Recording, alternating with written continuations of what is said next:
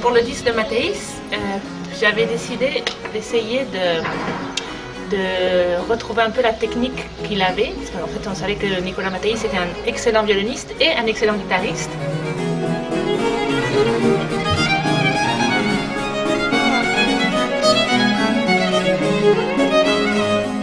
Il y a pas mal d'écrits qui nous parlent de ce violoniste en fait, qui napolitain, qui vivait à Londres et qui nous décrivent une, une personne assez spéciale et déjà dans, son, dans sa personnalité et aussi dans son mode de jeu. Un violoniste très fougueux, très, très virtuose. Il y a des écrits qui nous racontent qu'il le tenait sous la petite côte. Alors on ne sait pas exactement ce que c'est. Je suppose que c'est la, la première des côtes de la cage thoracique.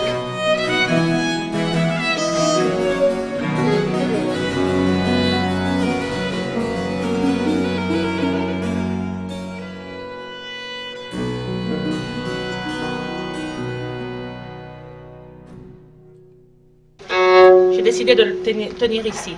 Ce qui permet, euh, je sais pas, de retrouver quelque chose d'un peu populaire dans le violon. Et je pense aussi dans la musique, ça s'entend, presque une position de fiddle. Je pense que s'il n'avait pas tenu le violon de cette manière, il n'aurait pas écrit cette musique. Parce qu'il y a des choses très spéciales qui fait que des fois on se dit mais pourquoi il fait cet intervalle et pas un autre? Ça repose vraiment dans la main. Du coup, le, il peut pratiquement presque jamais démancher. Et pour nous, c'est très bizarre à jouer parce que ça, ça, tombe pas du tout euh, dans notre, dans la technique moderne quand on travaille les tierces, les sixtes. Ça, c'est pas du tout la même chose. Donc des fois, il fait des conduites de voix complètement aberrantes, mais parce qu'il il veut pas du tout démancher. Et ça, lui, ça tombe bien sous ses doigts à lui. Ce qui est difficile, c'est un peu le rapport euh, de l'archer, parce que plus c'est, plus c'est bas, plus c'est loin. Et en fait, j'ai eu des concerts où pour des choses plus simples, je jouais en bas et après je remontais, mais j'avais l'archer qui restait en bas, donc je jouais complètement sur la touche. Donc euh, c'était un... Tandis que ben, là, faire toute, euh, si je faisais que du mathéis toute ma vie, ben, au contraire, c'est pas, pas du tout difficile, c'est très agréable.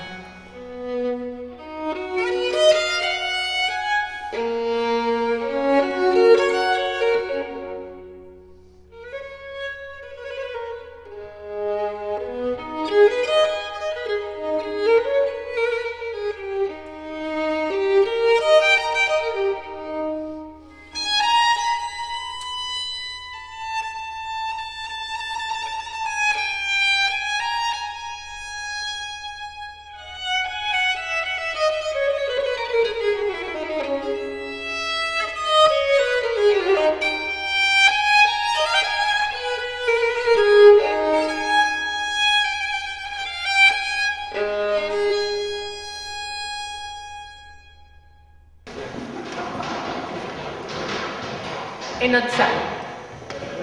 Parce qu'il faut dire, on s'est un peu approprié le monastère. On est en concurrence avec des banquiers et des jardiniers, mais on va gagner, je crois.